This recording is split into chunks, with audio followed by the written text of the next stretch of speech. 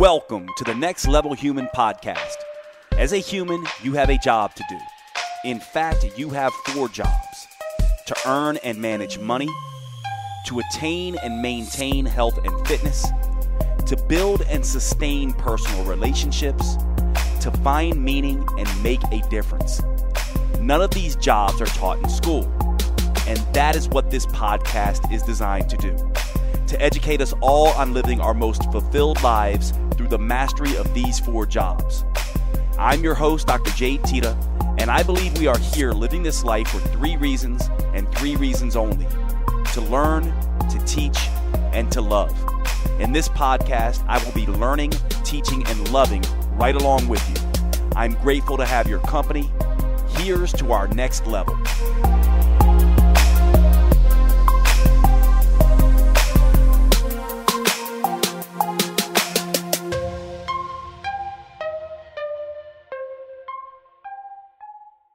Welcome to the show, everybody. Today we're going to be talking about the concept or the idea, um, a discussion around emotions, um, and particularly the discussion around uh, what would probably most aptly be described as emotional freedom.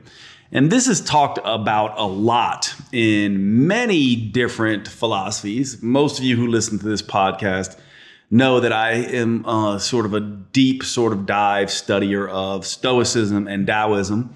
And both of these are sort of my natural, um, uh, the, the natural philosophical tools that I take when having um, discussions about useful ways of approaching the world. And so um, over the last couple weeks, actually, I've had uh, friends and I myself have been involved in issues that I think really, um, really sort of, uh, you know, have their focus, their locale at this level of emotional freedom. And so I wanted to do this uh, um, because of this, because it's fresh on my mind, because of some of my experiences of late, and also because um, two friends in particular uh, have been having issues in this regard. And usually with this podcast, I don't necessarily plan these episodes, but life just sort of comes along and gives you discussion points. And so I think this is going to be hopefully useful for many people because the things that we deal with in life are always about um, a collision of us with other people and how we deal with other people. And what drives, I think, the way that we deal with other people is our emotional responses. And of course, our emotional responses have an awful lot to do with our emotional past. And so we've talked before in sort of the next level human construct that we humans live into stories, rules, boxes, ideas, we essentially grow up and respond to our environment. And between the ages of one and 10 years old, lots of what we are doing is formulating our beliefs, our stories, um, beliefs about the world, the rules in which we live, and how to behave.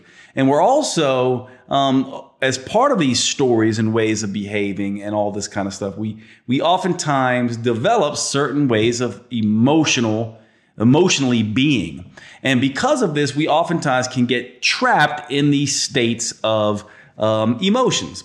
So, as an example, I'll talk about one of my friends who um, was discussing to me. We had a very long discussion about an argument um, that he had with his brother, where the two of them had something going on. They got into a discussion. My friend lost his temper, which he regrets, and sort of said some things. And it spiraled into this very bad argument. And one of the things that he was saying to me is he's like, man, can you help me understand why, after all this time, even though I've gotten better, I still can default into this negative emotional place? And I think this is critical to understand because to me, this is what emotional freedom is all about. To be emotionally free, by definition, means you're not emotionally triggered, right? It's not freedom to be walking out in the world, have something happen to you, and for you to fall back in old emotional habits, stories, rules, ways of behaving.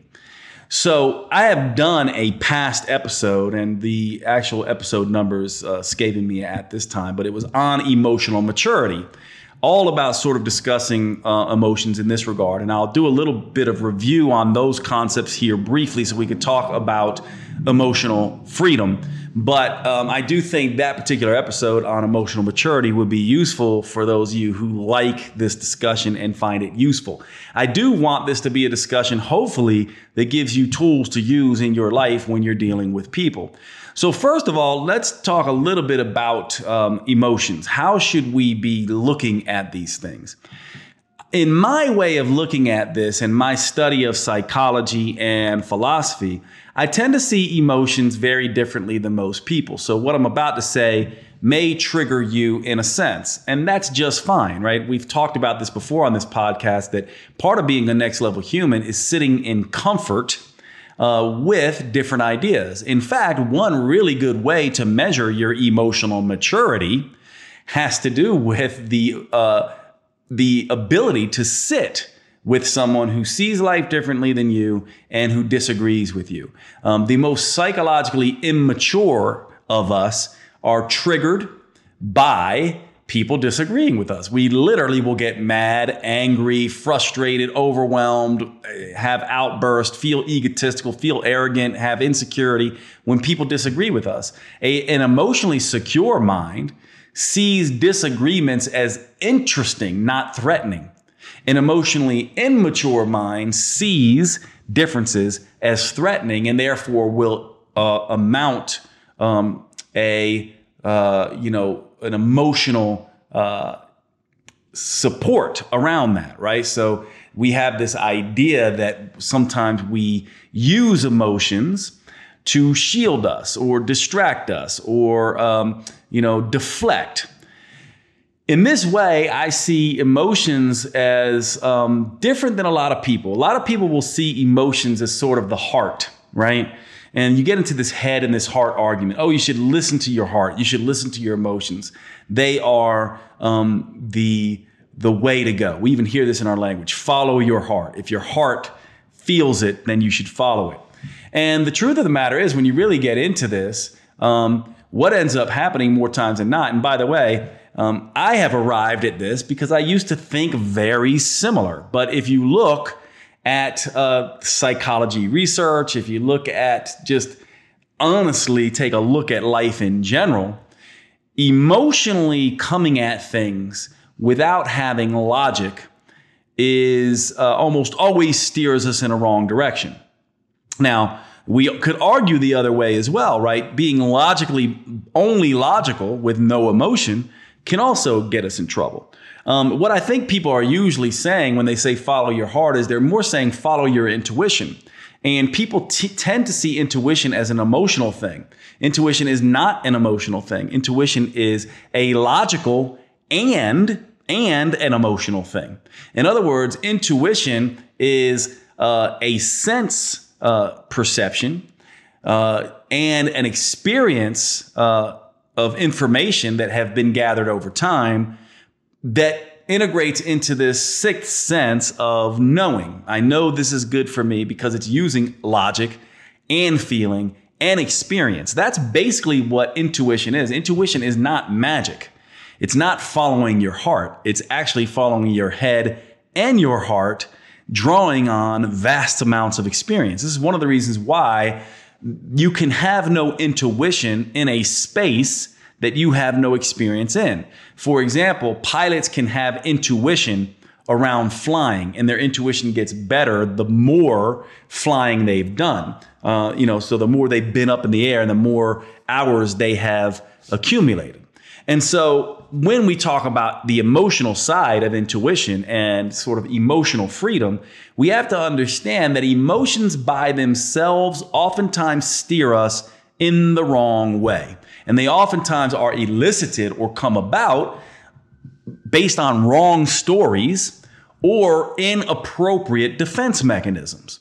And so the way I see emotions is they're kind of like road signs. They're kind of like the road signs sitting in front of you, pointing you in particular directions. Now, if you can imagine a road sign that is constantly telling you to turn left here, turn left here, right? Where it's like you get directions and you're like, turn left on Brook Street, go down a little bit and turn left on Brook Street and go down a little bit more and turn left on Brook Street, which would be similar to being like every time you approach something uh, that looks like this, be angry, make a left turn, right? And so what ends up happening, this is very much what people do. Now, these emotional states, if they are, if you are emotionally mature, and you are, um, you know, sort of not being hijacked by your emotions every time you feel an emotion, you can kind of say, what direction is this sending me in? You can then logically try to evaluate why you're feeling this way, and it allows you to unpack a lot of things. In other words, I see emotions in life as teaching mechanisms. Anytime you have a recurrent emotion or repeated patterns in your life, the same emotion comes up, and then especially when it causes the same issues, what ultimately this means to me is that you are somebody who continues to live exclusively from your heart and does not integrate your head into this, and it's getting you in trouble. This is like getting into a roundabout on a back street and just staying in that circle. Go left, go left, go left, go left, and you're just going in circles and things start to repeat themselves. So to me, emotions give you an idea of where you are, right? Logic helps you sort of decipher this in a sense and goes, do I want to be where I am? Is where I am useful to me? So, in a very real sense, when we look at psychology, some people would describe it as life is simply about moving towards pleasure and avoiding pain, right? This is basically what it's about. And in this process of avoiding pain and getting to pleasure, we oftentimes inadvertently run into pain. And this teaches us about how to integrate that pain and become better. And then we learn. And as we learn, we develop more intuition. And as we develop more intuition, we learn to integrate our emotions with our thought processes, with our brain, with our logic. And so to me, being emotionally free is synonymous with with not getting caught in these emotionally emotional triggers. So you might say, "Well, Jade, how in the hell do I do that?"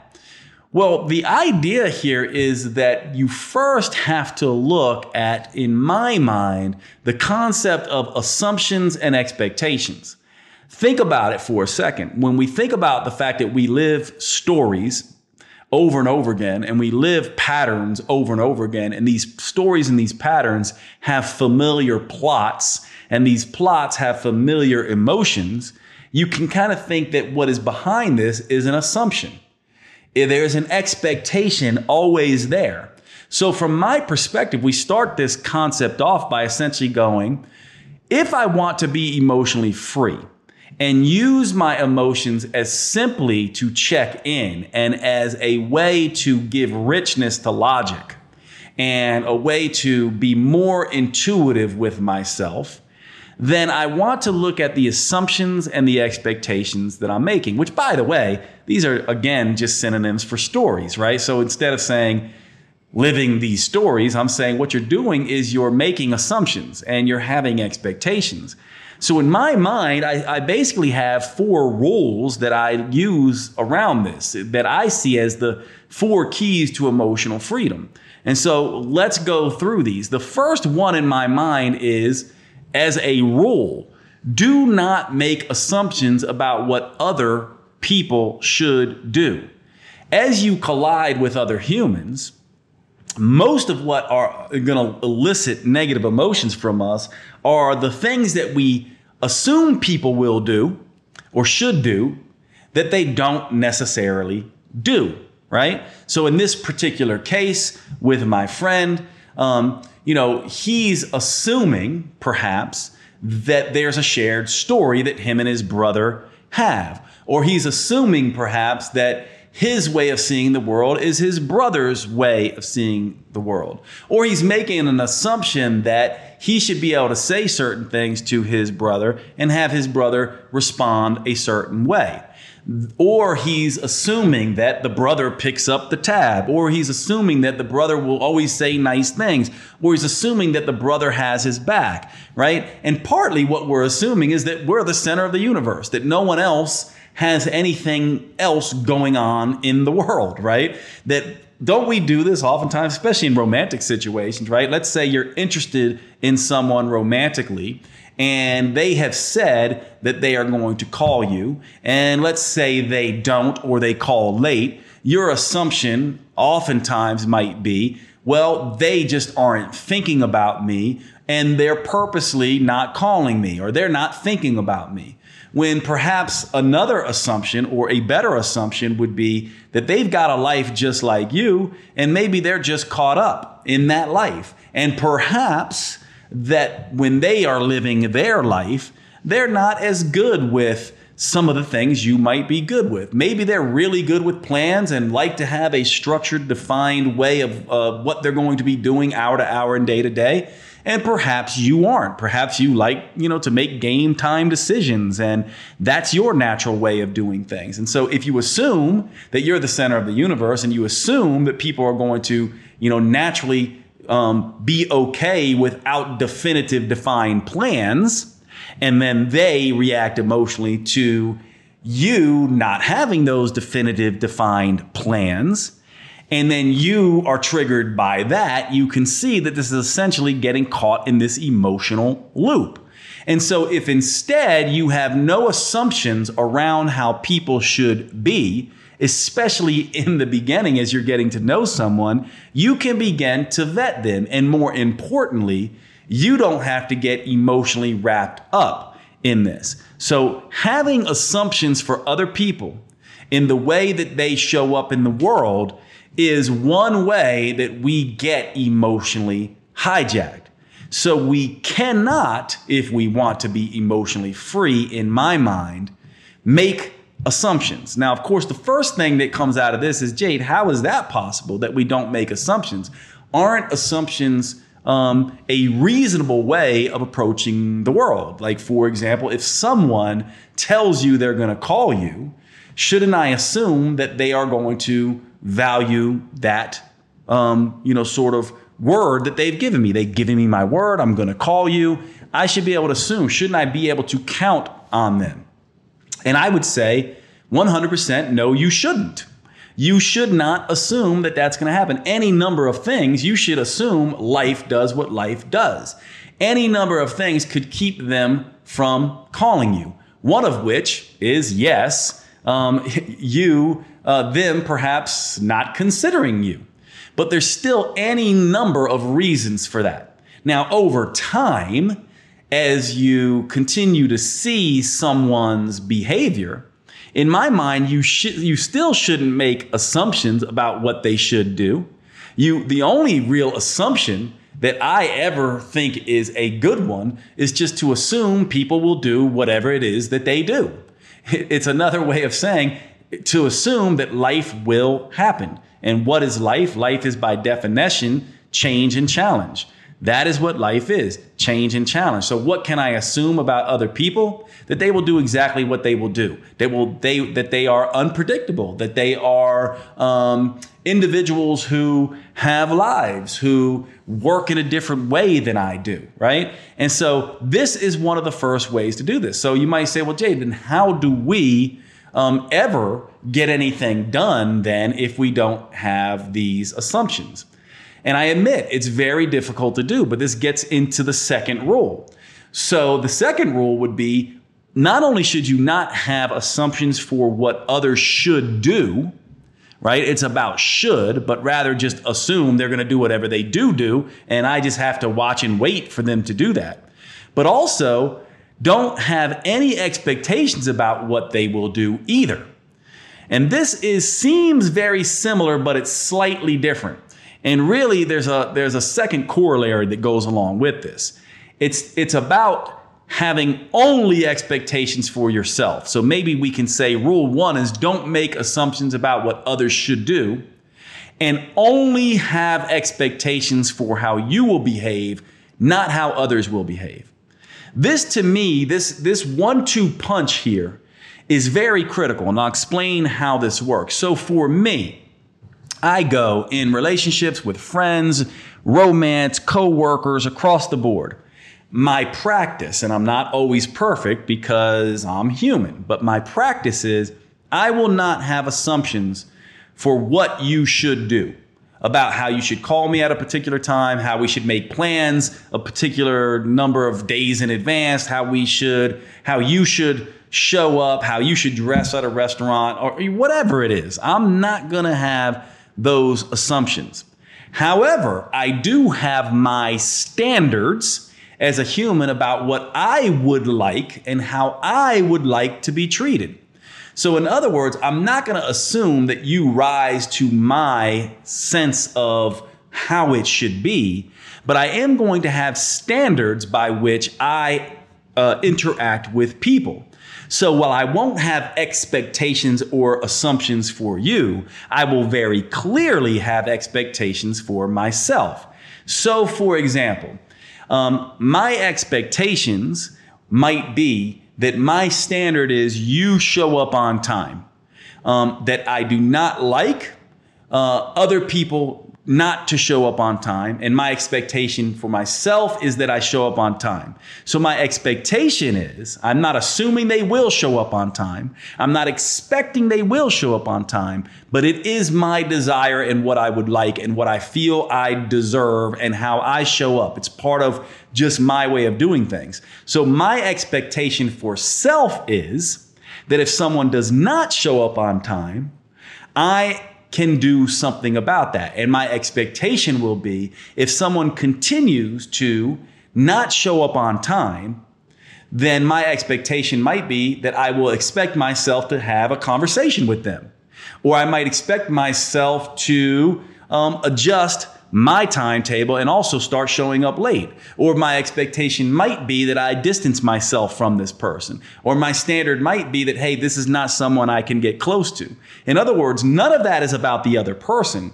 All of that is about my expectations and my standards for self. So, in other words, I'm not going to spend my time begging, pleading, cajoling, convincing this particular person that they need to show up on time. Instead, I'm going to set certain expectations, certain standards, certain things in place that uh, help me manage this thing that I think is important inside of my life. And so maybe my first expectation is that I will expect to have a conversation with this person. Maybe that conversation is about, listen, I know we're all different and everything else, but it really hurts me when someone doesn't show up on time. It makes me feel devalued. It makes me feel XYZ, right? Now, what happens there is because I'm putting it back on me, there's no reason for me to be mad. There's no reason for me to be anxious. There's no reason for me to have any of these things because I've already made up my decision about how I expect to behave. Because I can control that behavior. I cannot control their behavior. And I've always said this about emotions.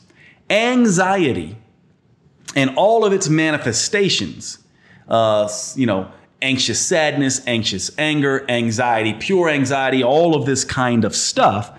Anxiety is really almost always about the inability to make a choice. And one of the primary ways that will keep you from making a choice is allow the other person to be the one who's making the choice. So, for in other words, if you're somebody who's always about plans, plans, plans, and this person isn't, they're more like, let's fly by the seat of my pants, then you if you put the expectation on them and the assumption on them, they're going to keep you guessing all the time, which is going to in, to increase your anxiety, which is going to take away your emotional freedom, right? And maybe that gets you angry or sad in response. And so there's this downhill emotional spiral. But if instead you go, I'm not letting them dictate, right? My expectation is if this is a person who comes across this way over and over again, I'm gonna communicate to them, see if they will accommodate me, and then make my decisions about whether I want to be around them um, or not. I'm sorry to break into the show, but I wanted to take a second to cover one of our sponsors and tell you all about Paleovalley at paleovalley.com. These are the grass fed sticks that I tell you all so much about that all of my friends know I have on hand constantly. They are in my car, they are at my house. I keep them at my sister's home and my parents' house. I have these things everywhere because they are the simplest, most convenient whole foods protein supplement you can get, almost like carrying around pure protein, low carb protein in your pocket. They also, these Paleovalley beef sticks are the only, the only 100% grass fed and grass finished beef sticks on the market. They use organic spices. They are naturally fermented instead of using nitrates and nitrites that can be a problem in some of these cured meats. And they simply taste fantastic. Check out the original or the jalapeno. Those are my favorites. Please make sure you go over to paleovalley.com and visit. When checking out, use the code next level for a 15% discount. Remember, our sponsors keep the show going by you giving them your patronage and spending your money on these high quality products you actually do a few things. One, you're helping to support the podcast. And two, you are helping your health. And three, you are making sure that good quality companies like Paleovalley can be out there doing their business, changing the world, making the earth better. One of the things you may not know about this is that grass fed organic and grass finished beef is doing something that is so utterly important for our environment, actually helping to repopulate the topsoil. A lot of people don't know this, but our topsoil is being extremely depleted. And raising animals, especially cattle, the correct way helps to get that topsoil back. This is one of the reasons why I love Paleovalley. Not to mention it tastes fantastic, but they're one of these companies, like my other sponsors, Cured Nutrition and Organifi, that are doing the right things by the environment. I really appreciate everything they do, and I hope you will check them out. Thanks so much. PaleoValley.com. Use the code next level. And now back to the show. I want to jump in real quick and tell you about one of my favorite new products. And to start out, I want to ask you a question. If you had to follow your friends around who are not the healthiest in the world and see what they are doing, what would be the number one thing you would probably tell them to do to start? For most people, that's going to be drinking more water, right? This is something that we talk about all the time in health and fitness. It's almost as if we think of it as an afterthought now because obviously water is so crucial. However, we oftentimes get this wrong. For example, did you know that when it comes to hydration, just drinking water can make things worse? Most people don't know this. Why?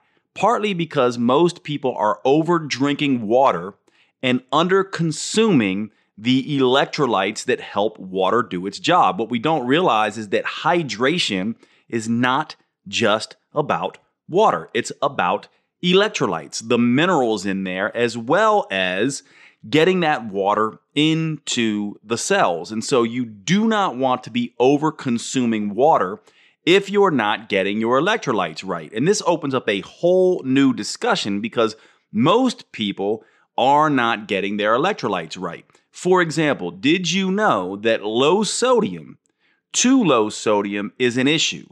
Just as much, if not more so, than high sodium. In other words, what we want if we're going to get the right electrolytes is to get the right amount of sodium and potassium and magnesium in the Goldilocks zone. We don't want too much. We don't want too little. We want it just right.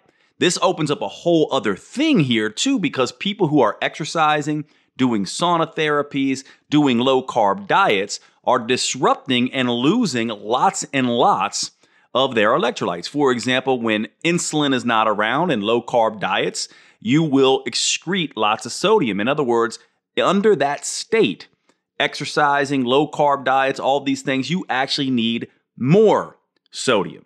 And so if you're somebody who has been just drinking water, not paying attention to electrolytes, and also feeling fatigued, feeling like you're underperforming, not sleeping right, getting cramps, twitches, headaches, any of these things, then you are probably dealing with an electrolyte issue. This is where the product LMNT comes in. This product has been a game changer for me and many, many of my patients and clients. This is a rehydration electrolyte beverage, basically. It is a powder of electrolytes formulated with 1,000 milligrams of sodium, 200 milligrams of potassium, and 60 milligrams magnesium without the added sugar and other nonsense that comes in beverages like Gatorade. This stuff is basically a rehydration beverage on steroids. It is the thing that is going to replenish your electrolytes in the right ratios, decrease fatigue, really correct chronic dehydration. And by the way, many people are dehydrating themselves, becoming hyponatremic, low sodium, when they're consuming too much water. You need your electrolytes on board, especially if you are someone who is losing lots of sodium and other electrolytes through low carb diets and lots and lots of exercise. This is where LMNT comes in. LMNT is a new sponsor to the Next Level Human podcast. I cannot recommend this product enough. I have been using this stuff for months now, and I have immediately seen changes in my energy levels. I feel like I'm operating on a whole other level, and I have seen this as being the primary thing that people who have been using LMNT have been telling me that their fatigue is getting better, especially fatigue that comes after very intense workouts that involve lots of sweating and lots of intense output from the nervous system. Please check out LMNT. Use the code next level.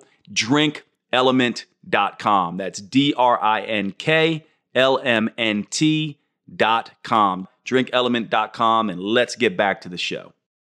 And so, this is what I mean by not making assumptions and not having expectations for others, but instead, always and only having expectations for self, right? I think this is a very important way um, to uh, think about this in my mind, okay?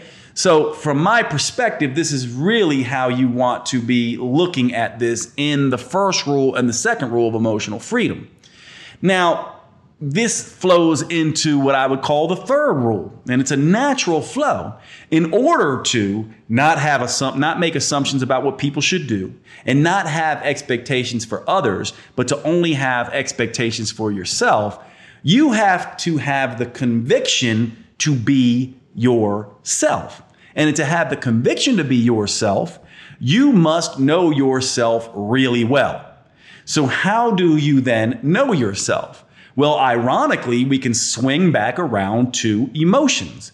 When you have repeated emotions that are recurrent from one relationship to the next, and they end up uh, eliciting the same responses and the same behaviors, and you run into the same patterns over and over again the same familiar anger, the same anxiety, the same sadness, the same overwhelm with one person after the next, then the common denominator is you.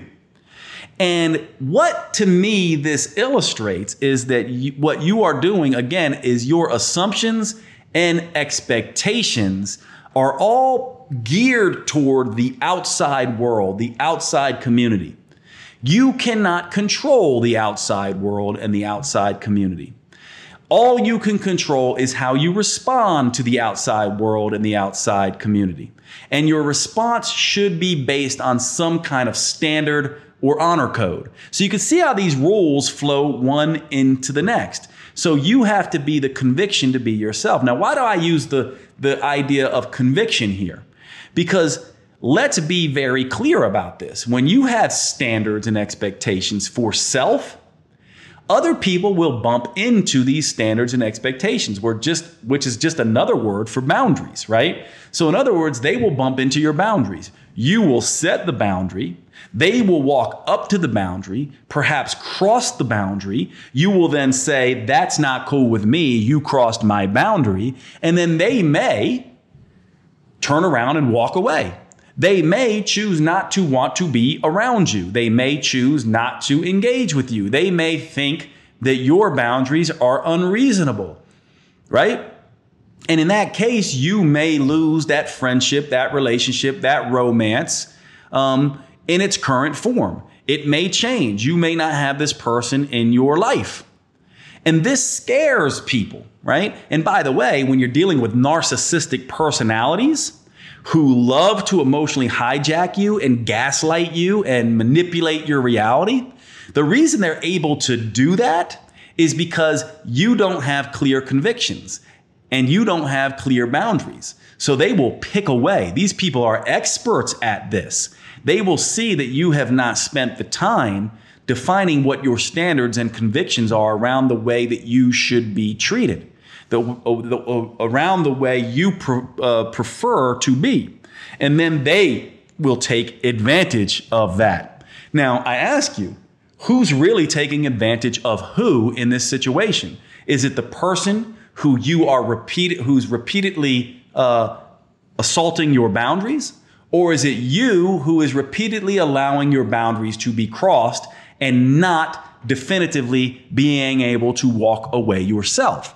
So when I say conviction, it is the need, the ability to say, I don't like this, and to also be sure that whether I lose this person or not, or whether they lose me, I am clear, convicted that this is who I am, this is what I stand for, and this is what I believe. Now, it's important that we understand at this juncture of my boundaries coming up against your boundaries or my reality colliding with your reality, this is where we get to learn. So I'm not saying very clearly, I hope you don't hear me saying that this conviction isn't necessarily flexible. Sometimes we have boundaries and ways of being that are unreasonable, and we only see they're unreasonable because everyone is repelled by us. So there's this give and take here, right?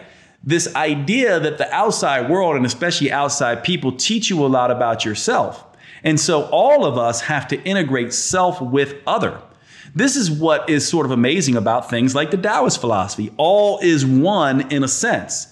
Taoism and the extension of Taoism, things like Buddhism and things like that, are, speak about this all is one thing. And part of what they're talking about here is that you as a human can't really exist without integrating other people. And so when you set boundaries that are too firm or too unreasonable, you will repel everybody right? But when you say when you don't set boundaries at all, you will be at the whims of everybody.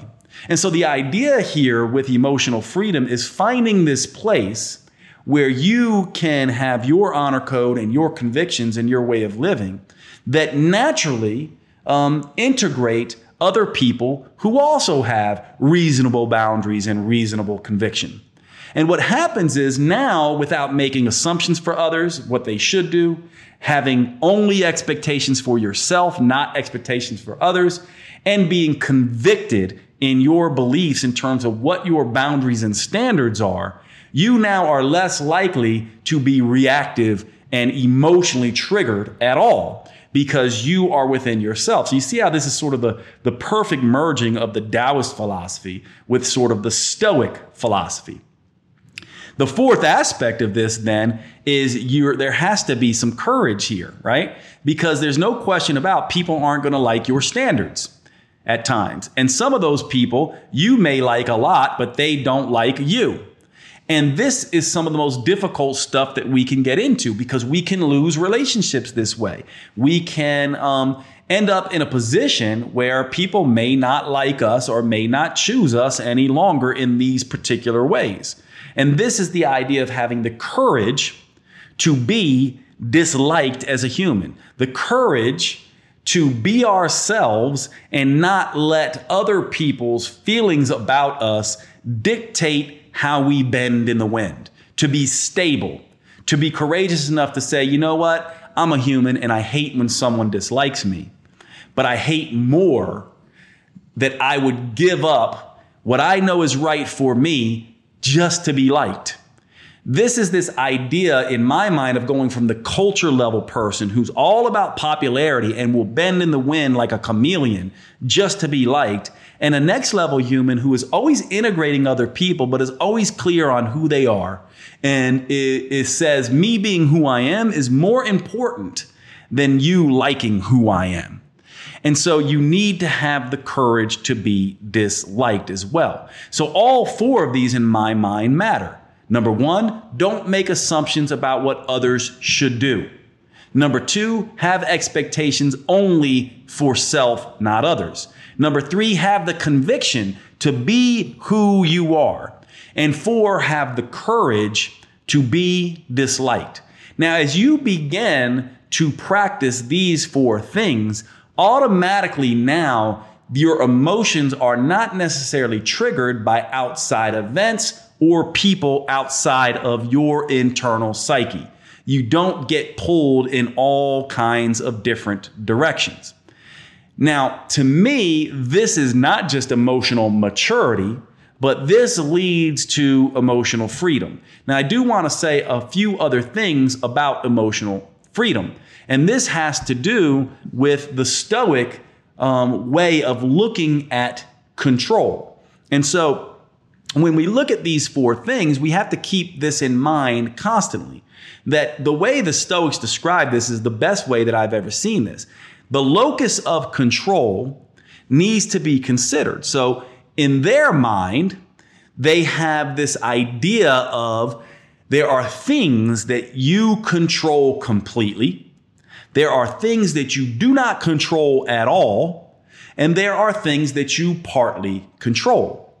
Now, part of what having expectations and assumptions are all about is thinking that you have control over other people.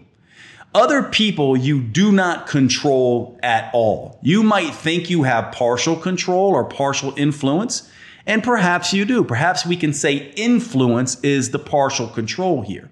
But what the Stoics would say is of these three things, the things you control completely, the things you control partially, and the things you do not control at all, you should always and only focus on the things you control completely and let everything else go away. Let everything else be icing on the cake, so to speak. And they go even further to say, by the way, what is the only thing that we actually control as humans? Well, the only thing we actually control as humans is our way of seeing something, our internal emotional state. We can choose to see a thing. It's like Marcus Aurelius, the famous Stoic, said if you are wounded and do not see yourself as wounded, then, well, you have not been wounded, right?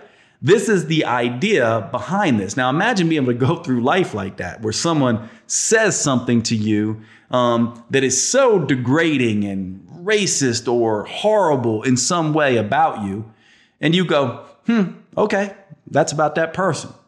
In other words, the reason it's about them is because you go, I don't see that. I don't take that as wounded. Your friend might just be like, I cannot believe you didn't react to what this person just said to you. And for you, you essentially go, I can't control what they think. All I know is what I think and what I control. And I just I just choose to ignore that. I oftentimes in myself, again, it's a practice, but I, I practice this with both compliments and criticisms.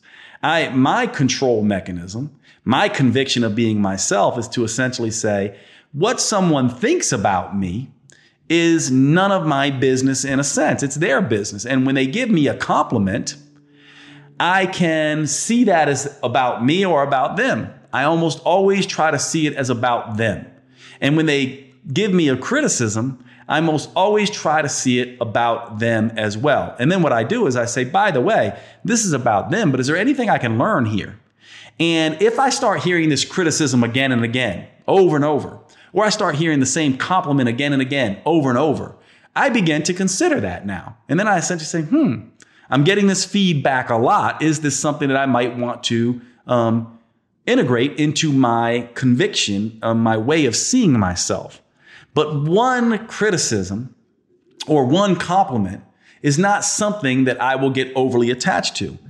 That's because I control my mental state. I don't, part of emotional freedom, by the way, it's not just controlling negative emotions, it's also getting a hold of positive emotions that may be um, inadvertent or not very helpful or not necessarily real.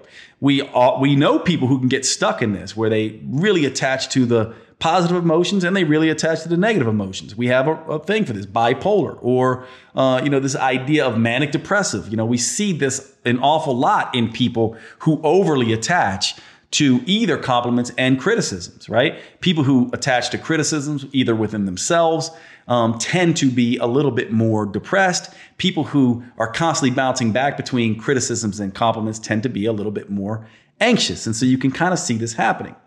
Now, the things that we can't control would be just outside events. I can't control the person in the other car, what they're going to do. All I can do is control what I'm going to do, right? I can't control what another person thinks. I can't control whether another person likes chocolate or vanilla.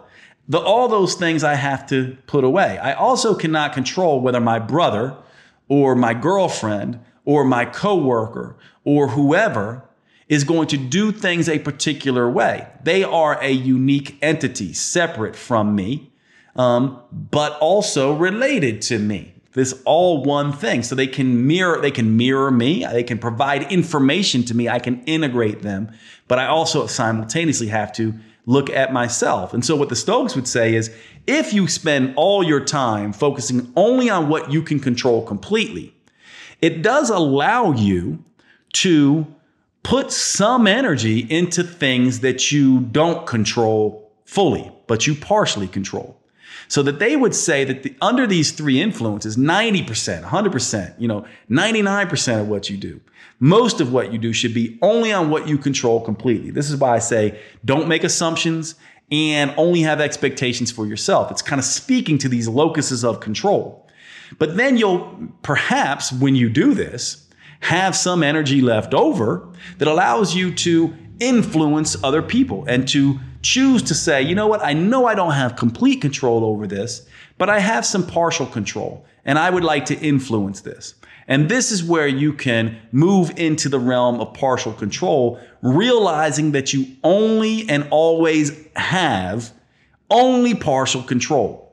And to understand that you can influence up to your point and then you have to essentially let you go. And th- uh, let it go. And this is where this dovetails into this idea of if you really want emotional freedom and you really want to master these four elements you have got to become an excellent communicator which brings up lots of different things that i have discussed before about people who don't have emotional freedom gossip a ton. People who don't have emotional freedom or, or emotional maturity often lie or exaggerate right? And people who don't have emotional freedom and emotional maturity oftentimes can't have difficult conversations or it takes them days to have uh, you know uh, conversations in the way that they may have been able to have in the moment when the emotions were fresh because they're not getting hijacked by those emotions and so from my perspective this is how this sort of comes down in this realm of the things that you only control partly. This is where you learn. This is where you learn to have the conviction to be yourself. You learn all about yourself and, um, you know, finding that balance between being a member of society and being an individual. It's the Goldilocks zone, right? You cannot, we are not islands unto ourselves. We can't just go off and say, I'm going to be alone. I don't want to be with anyone. That is not how we are built as humans. But we are also not built like I'm just going to let everyone do whatever they want and I'll be at their emotional whims. So we have to find this place in the middle, this place where we are uh, solid in our convictions. We know who we are and we are willing to bend our boundaries and adjust our standards based on the feedback we get from the outside world. And this is very, very important because emotions by the way, and the volatility of those emotions are always the things that tell us we still have work uh, to do.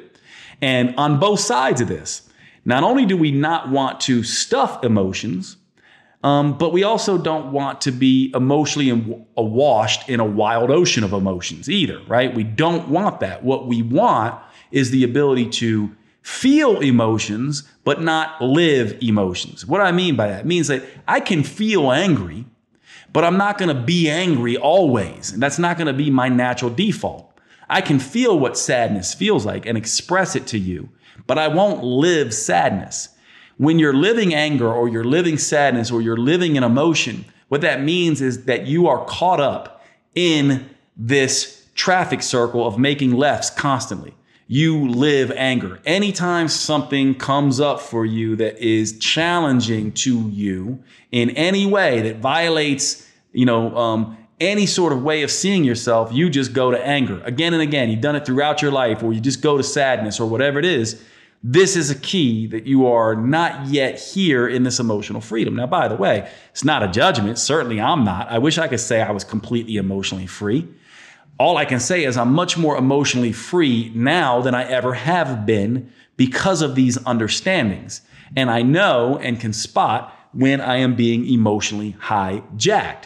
And so this is the way that I would look at this. Now, as part of this discussion, right, and this goes to this last part about the courage to be disliked, because I know people oftentimes say, well, Jade, because I've had this discussion with lots of people, they go, what does this actually look like in the real world? I mean, there's certain people that elicit certain emotions in us that we just can't escape, right? I mean, they're they're just going to you know cause these emotions in us. It's about them, right? They're toxic. They're the ones. And from my perspective, I do not believe in this idea of toxic humans in a sense. Now, let me be clear about this. There are certainly people who have negative energies and can elicit certain ways of being. But to me, you have choice. This goes back to control. You have choice to avoid these individuals. In other words, what's really toxic is knowing something is toxic and continuing to engage with that toxic substance. I've never understood this. If I knew that my um, home was had mold spores everywhere, and I was just like, that home is toxic and it's making me sick, and yet I just keep going back into the house and choosing to live there, then who's the toxic one? The house or me? I am actually the one who is choosing to engage in toxicity. So by extension, I am as toxic as my home if I keep exposing myself to it. So if you think someone's toxic and you keep exposing yourself to that toxicity, then you yourself are toxic. And this to me is hugely, hugely important because it's a recognition that I am responsible for my feelings. No one else can make me feel a particular way. And if every time I run into this particular person, I live into this emotion, then that is a pattern about me. And that pattern probably, usually in this case, when we're talking about people who keep you know, doing negative things to us. Normally it's about a pattern of not having standards and boundaries that would keep me from interacting with this person. And of course, this is not always easy, right? Like, so let's say I have an ex and I don't have kids, but let's say I did, and we share a child, and I can't get away from this ex, but this re- this ex is emotionally volatile and emotionally immature and emotionally toxic to me in a sense, right? Or elicits this. I have to define and say, wait a second, she's not toxic. I'm allowing this. I'm going to have to interact with her in a different way to set down standards. So maybe it's like, I no longer go to her house. I no longer allow her to come to my house. We'll pick the kids up and exchange the kid, you know, at a neutral location or whatever it is. But I have to basically say, I'm not establishing standards and ways of behaving. And sometimes within ourselves, it's simply saying, I will not talk politics with this particular person. That's a standard. I will not do these particular things with this person. Also, as a part of a standard, I have a rule. And that rule is really a critical one when we talk about, especially the conviction to be yourself and the courage to be uh, disliked. And this rule goes like this. And we probably could make this a fourth rule of emotional freedom, but I think it fits in with number three and four. But the rule is never let anyone treat you a way you are not or no longer wish to be. Let me say that again. Never let anyone ever treat you a way you are not or no longer wish to be. If they do, then you need to have the conviction to be yourself and the courage to be disliked. And the solution to that is set up the boundaries and the standards right there, right? right there. Now, what does this look like, by the way? So, partly I'll give you a little bit of a background into some of my sort of dysfunctions, perhaps, um, in romance, let's say. So, partly what how I come to this, giving where I've been in my life, I've always been, and I'm in a helping profession. So, I'm oftentimes managing people's emotions um, helping them manage their emotions. And I'm also, I'm oftentimes being an emotional conduit, letting their emotions flow through me. But to a big, to a large extent, a coach like me and a healer like me is constantly managing people's emotions. Um, and as part of that, I have learned over time that in my romantic relationship, I have usually chosen people that force me to manage their emotions because I'm comfortable with that, right? I almost see myself as I'm the coach. I'm the one who can help. I, I feel comfortable and it's very familiar when I meet a woman who, uh, you know, needs emotional management. Um, I tend to be very solid in my own emotions. In fact, romantically speaking, many people will say you don't talk about your emotions, you know, often uh, unless I'm unless I'm asked. And when I'm asked, I talk about it, but I don't volunteer it, and I'm pretty much emotionally contained within myself. Um, I've practiced that Stoic philosophy. It's the Stoic in me. But then how this looks is if I'm with someone who begins to demand that, uh, you know, um, I have emotionally, I, I take on their emotions.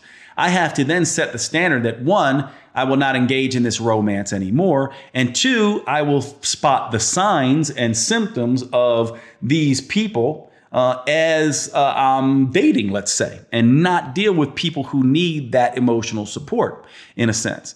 Likewise, if I see someone who I see uh, signs of emotional immaturity or emotional volatility or anything like that, I have to be the one to break that standard. Now, I also, though, have to look at myself and say, Am I the one who's maybe a little bit too fragile? Are my boundaries a little bit too thick? Are my standards a little bit too unreasonable? Is it unreasonable for, like, am I so averse to this that anytime my, uh, you know, significant other or my partner has an issue, I don't want to deal with it? Now, I don't think that is me, but certainly life would prove that out over time, wouldn't it? And that's where this whole idea comes in, where it's like, these boundaries, when we talk about emotional freedom, have to be flexible in a sense. And life will prove this out. So if I'm being too rigid or too judgmental or, or this kind of thing, then I will start to run into dysfunction. And I have to make the choice about how I want to be. And some of these choices are just fine. Many of my friends go, Yeah, it's really interesting. You would actually rather be um, single than be in an emotionally volatile relationship, even if there's many good parts to that relationship, wouldn't you?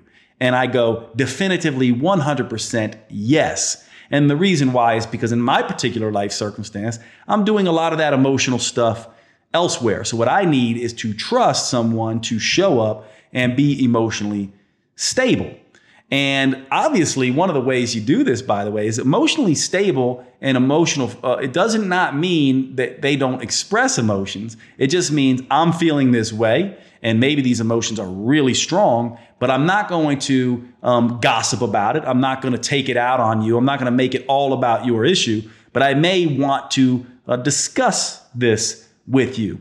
And when you are discussing, a discussion by its very nature it has a logical component to it. It's just, it's not just anger. It's a logical conversation that's going on while the expression of anger is in the background. Like, hey, listen, what you did or how I uh, saw that made me very angry. One, just know that that anger is about something that is from my childhood and other things. And two, I would like to have a discussion about it. And from that perspective, then it turns into something that both people get to learn from. And then this turns into a virtuous cycle of having more emotional maturity and more emotional freedom. So I hope this is use, a useful discussion for you. And I hope the takeaway for you is that when you look at these four rules, don't make assumptions about what others should do. Have expectations only for yourself have the conviction to be yourself and have the courage to be disliked. That this really is about you. Other people are not responsible for your wounds. And when you try to make them responsible by coming over the top with your emotional volatility and emotional, uh, you know, trauma and being overly emotionally, period, you have to understand that that is usually flowing from you, whether it's because you've never been able to get a handle on your emotions, or perhaps that you haven't set the standards and boundaries that you need to. This is how you have emotional freedom. This is how you're able to fully feel emotions, but not live into them to such an extent that they hijack and distort and destroy all your relationships. Thanks so much for hanging out on the podcast, and I will see you at the next episode.